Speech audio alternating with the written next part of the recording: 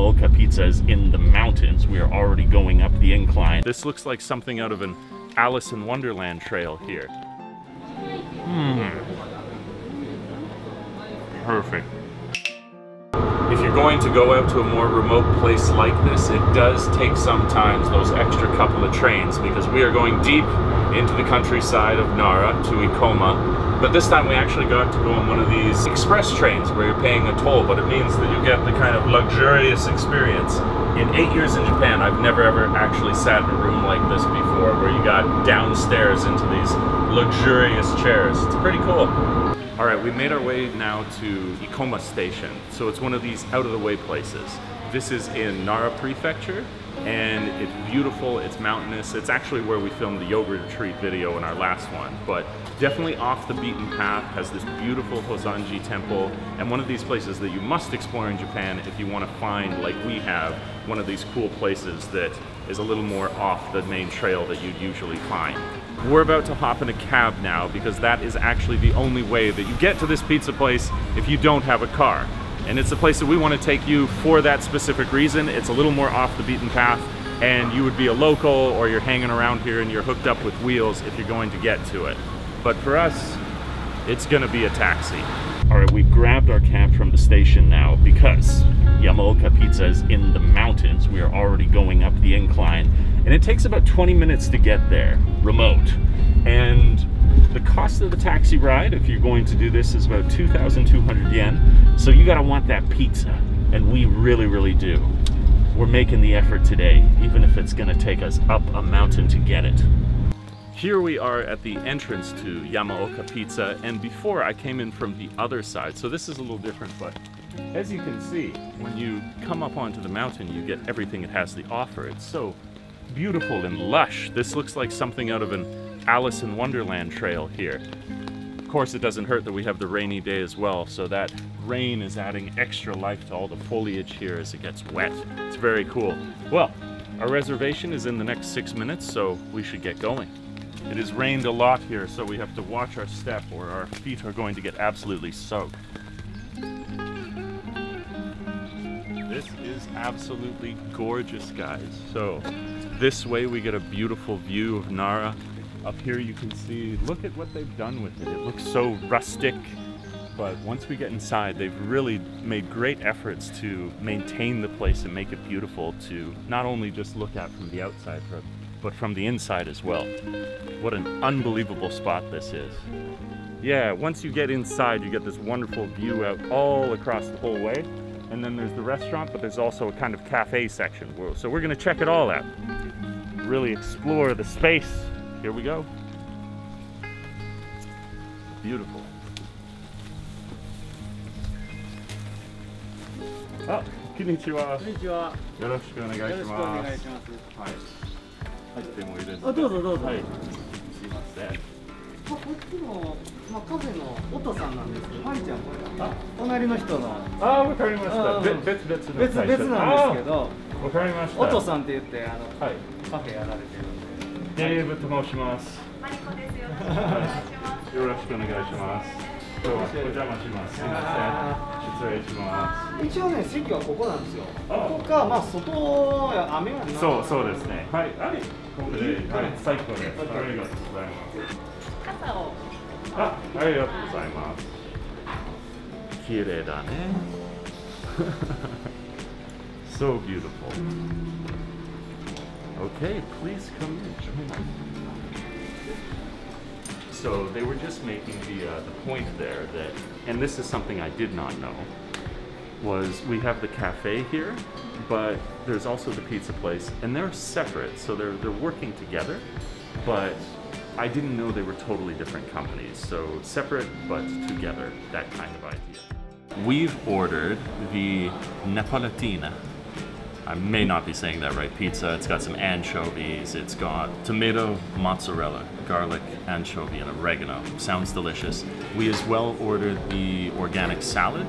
And when asked what is the one thing that we absolutely must try, we were recommended the oven baked onions. And that's because it's actually from a local organic farm in Ikoma that they source this from. And they say it's like nothing else you've ever tasted before.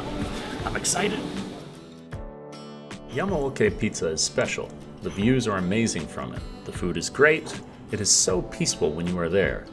The heart and soul, of course, is the food coming out of the kitchen, and at Yamaoka Pizza, they have a special way to prepare it. Each pizza is baked with love inside a large stone oven. The shape and design of a stove oven makes sure that the top and bottom of the pizza cook evenly, giving you a totally delicious and beautiful to look at result. Some of the food is here, we are still waiting for the pizza, but so far we've got the um, mushroom ahijo and the oven roasted um, onion. And the thing about the onion, it's organic and it's grown in the mountains of Ikoma. And it just looks looks sublime. It's, it comes with a chili sauce and the mushrooms. You've got different types of mushrooms. You've got I can see shiitake and enoki and shimeji and stuff and it just it came in sizzling in oil and just the, the smell of the spices and the mushrooms and the everything is just mind-boggling so um, yes let's dig in let's let's get into it let's give it a try guys you have to smell it oh okay here it goes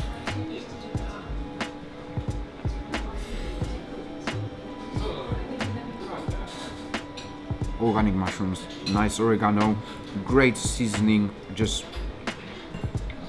this is this is ridiculous. Food in this place is sublime, it's amazing. Oh just guys take my word for it. Or, or don't, just just come here and eat it. Just try it. All right, I would be remiss to not try myself. Just getting a slice into these locally grown, organic onions. Here we are. Mmm. What stands out immediately, very, very simple, straightforward, minimal number of ingredients, but the amount of variety of flavors that you get from this is delicious. It's buttery, it's sweet, it's a little bit spicy, herbaceous, top shelf, top shelf. They've uh, knocked it out of the park with this one. The first orders of food were so tasty, but of course the star of the show is the pizza. It was hard to wait for it, but when at last it did arrive, we were not disappointed. The colors were rich and the dough looked so light and fluffy that it might float away if we didn't eat it soon. All right, doing the honors now talk about incredible presentation that they have here. It's so good. Lots of care with the ingredients. Mmm. Perfect. The oregano, you don't have so many ingredients that they clash with each other. The oregano with the garlic, perfect, buttery. Mmm. And the sauce, the sauce is killer. We had that as well with the onions, and we predicted it would be this good. So a little tip for you, if you've ordered the ahijo, and now you don't know what to do with your crusts, although they're delicious.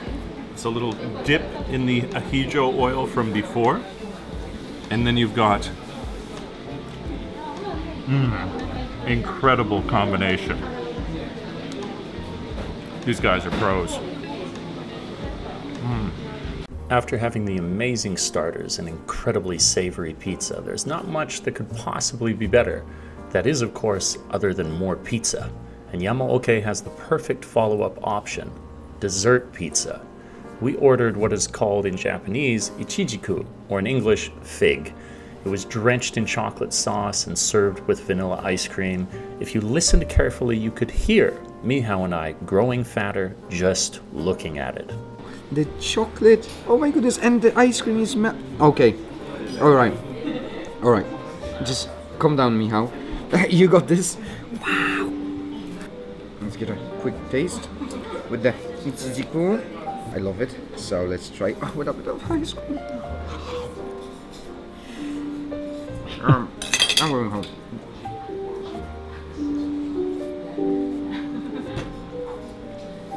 Try it. Like, just, just do it. Sorry. Oh my. Great! A place is good because of the people. Therefore, it was a high priority for me to speak with both the owners. I wanted to know how anyone ever finds themselves in a place like this, high on a mountain, hidden away from most people. What was it about this place that drew them to it, and why do they do what they do? 音という名前でお店をしてます。 そう過去に5年ほど日本であの旅をしながらお料理教室をずっとしてたんですが、まあ、ご縁いただいてここで、えっと、カフェを始めてちょうど今月で2年になります。はいえっと食べること暮らすこと生きることっていうところで全てにサウンド音があってあの食べる野菜を食べるシャキシャキの音だったり暮らす建物が鳴る音だったりあとは心臓ハートのところが音があったり全てに対して音があるっていう意味でなんかそれを感じていただける場所を作れたらいいなと思ってカフェをしています。山本重則です。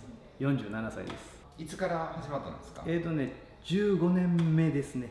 こちらで、まあ、イタリアのレストランを開こうと思ってきっかけとかあります？僕サーフィンやっててずっともう仕事もしないで結構サーフィンばっかりしてたんですよ。世界を回ってたというかもうヒッピーみたいなことやってたんだけど30歳ちょっと過ぎてたからもうちょっとちゃんとした職働こうと思って若い時からアルバイトで飲食のことずっとやってたし、料理学校も行ってた。それでまあ料理しかないなと思ったんで、まあ、イタリアに飛んでちょっと修行させてもらって帰ってきたらそういう、まあ、ここでやらないかっていう話が出て今に至ってるっていう感じですね。僕のまあ相方がいるんですけど山本と岡村で山岡ピザなんですけどたまたまねそこのイタリアで働いてたとこもうこんなとこやったんですよあのナポリから3時間バスで入ったようなところのもうほんとちっちゃいレストラン村のレストランで働けたんで This is why I love living in Japan so much. Finding these hidden away spots is just so much fun. People often say you never know what you're going to find if you take the road less traveled. I think that's only half true. You might not know exactly, but in my experience, if you take that road in Japan, it always leads to amazing people and great food. Thanks so much for tuning in to catch this video, guys. I really, really appreciate it. If you had to make a choice, which would you go for? Which pizza in the video, the savory or the sweet? I find myself leaning towards the savory. In any event, thank you again. That's all for this one. I hope to catch you in the next. Take care out there. Bye for now.